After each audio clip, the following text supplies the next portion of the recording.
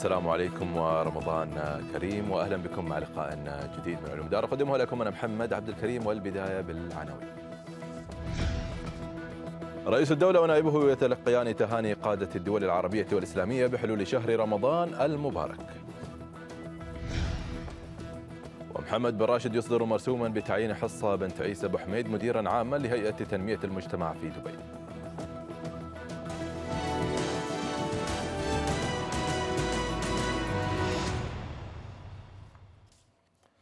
أهلا بكم.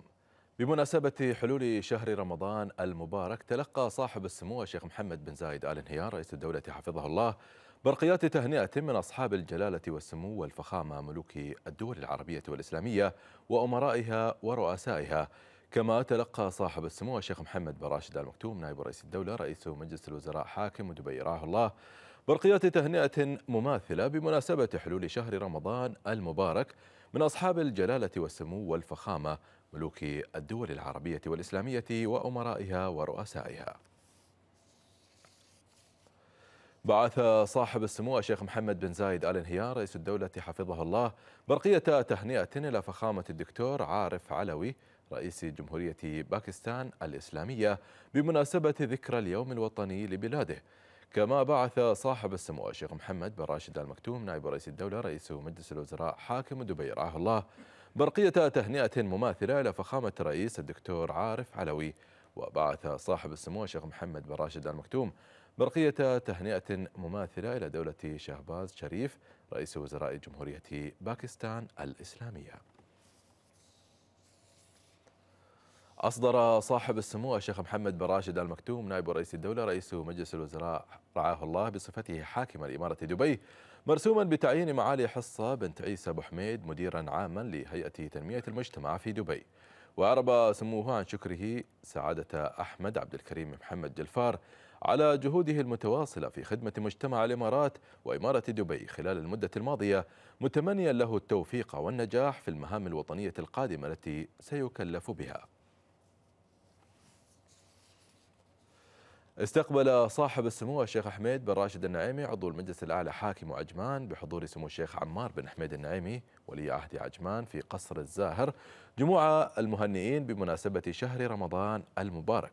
فقد تقبل سموهما التهاني والتبريكات بهذه المناسبة المباركة من الشيوخ ورؤساء الدوائر الحكومية ومديريها في الدولة وأبناء القبائل ورجال الأعمال والتجار الذين أعربوا عن خالص تهانيهم وتبريكاتهم بهذه المناسبة المباركة. كما استقبل صاحب السمو الشيخ سعود بن راشد المعلى عضو المجلس الأعلى حاكم أم القوين في قصر سموه بحضور سمو الشيخ راشد بن سعود بن راشد المعلى ولي عهد أم القوين جموع المهنئين بحلول شهر رمضان المبارك. وتقبل صاحب السمو حاكم أم القوين التهاني والتبريكات بالشهر الفضيل من الشيوخ والمواطنين وأبناء القبائل ورجال الأعمال والتجار وأبناء الجاليات العربية والإسلامية والأجنبية الذين توافدوا على قصر سموه لتقديم التهاني بهذه المناسبة.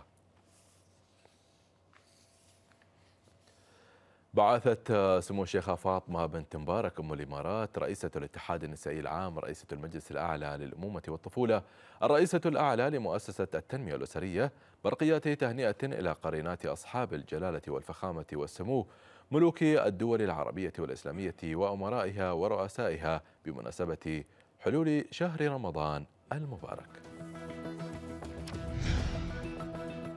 نشرتنا متواصلة وفيها بعد الفاصل. الأمين العام للناتو يطالب الغرب بمواصلة دعم أوكرانيا والخارجية الأمريكية تنفي تجاوز الصين خط تسليم أسلحة فتاكة إلى روسيا.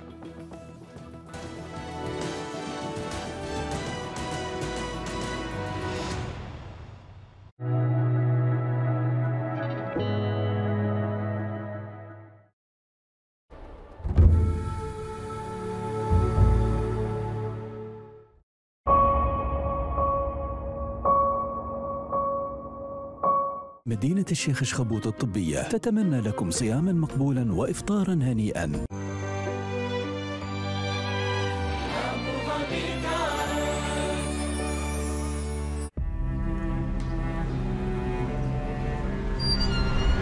تخيل شعور هذه الأم. تعب فقر جوع. الخوف على أطفالها. التفكير بالمستقبل. نستطيع مساعدتها بمساهمتك معنا في المير الرمضاني.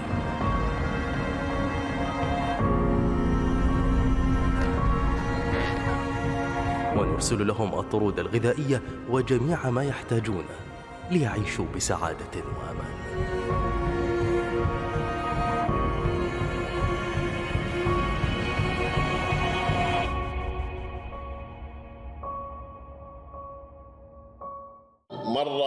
قبل ال- الأذان. يعني كنت بسمع على الراديو طلعت دولة أخرى. الله أكبر الله أكبر. كان الله يرحم الوالد. صغارنا لنا كان يشجعنا يعطينا 500 يوم الأول 500 وايد. اذا ختمت القرآن 500 ونخلص آخر يوم رمضان يكون يعني كنا مخلصين كل واحد ضارب 500 ومتنومس. أحسن شهر رمضان. محمد صلى الله عليه وسلم يقول هذا أحسن شهر. عشان هذا أنا أحبه. حلوة؟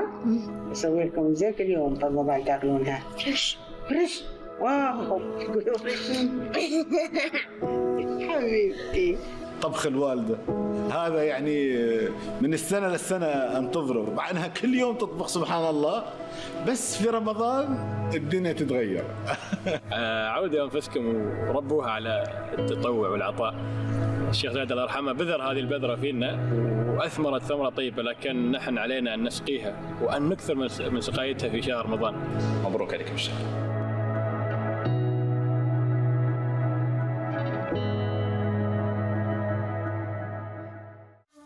على أجمل الجزر في أبو ظبي يوشك مجتمع نابض بالحياة أن يرى النور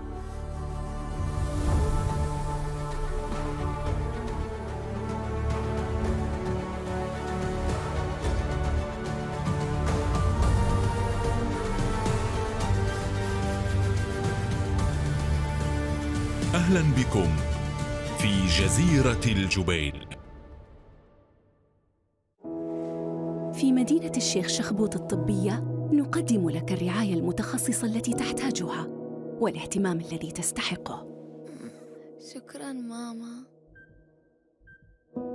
وكوننا إحدى أضخم المستشفيات وأكثرها تطوراً في الإمارات. ومن خلال شراكتنا مع مايو كلينيك نوفر لكم الخبرات الرائدة عالمياً لمعالجة أكثر الحالات الطبية تعقيداً هنا داخل الدولة يركز الخبراء متعددي التخصصات لدينا على تلبية احتياجات كل مريض وتقديم أفضل رعاية طبية بدرجة عالية من التعاطف والاحترام. مدينة الشيخ شخبوط الطبية بالشراكة مع مايو كلينيك. اهتمامنا بك ثروتنا.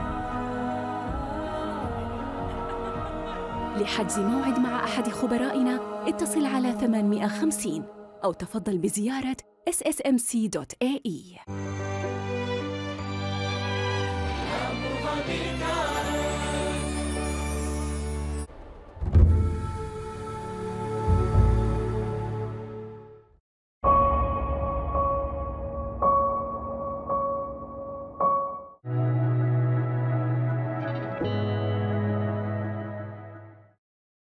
مدينة الشيخ شخبوط الطبية تتمنى لكم صياما مقبولا وإفطارا هنيئا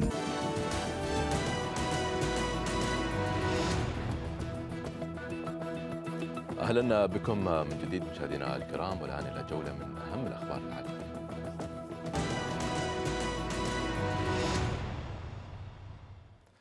في ملف الأزمة الروسية الأوكرانية قال الرئيس الأوكراني فلاديمير زيلينسكي عقب زيارة مناطق من الجبهة في شرق البلاد إنه رأى معاناة شديدة لكنه رأى الأمل أيضا. وأضاف زيلينسكي في إفادة عبر الفيديو إن رؤية البلدات في دونباس أمر مؤلم والتي جلبت لها روسيا المعاناة والخراب في إشارة إلى صافرات إنذار الغارات الجوية كل ساعة والتهديد المستمر بالقصف. وأضاف أنه على الرغم من الدمار والمعاناة الشديدين فهناك آمل في هذه المناطق.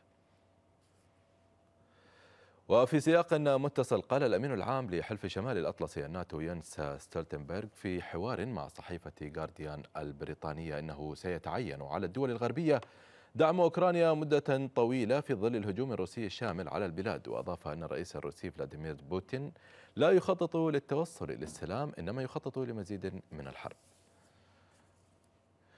قال الجيش الكوري الجنوبي أن كوريا الشمالية أطلقت أربعة صواريخ كروز قبالة ساحلها الشرقي وذكر الجيش أن بيونغ يانغ أطلقت عدة صواريخ من دون ذكر تفاصيل. لكن وزير الدفاع الكوري الجنوبي لي جونج سوب أبلغ البرلمان أنه جرى إطلاق أربعة صواريخ. شكرا لكم مشاهدينا على حسن المتابعة وفي أمان الله.